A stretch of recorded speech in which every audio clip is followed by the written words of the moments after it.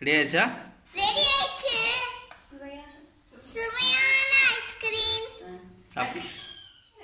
Ready எடுத்துட்டு வந்திருக்கேன். இது நான் அக்க போறேன்.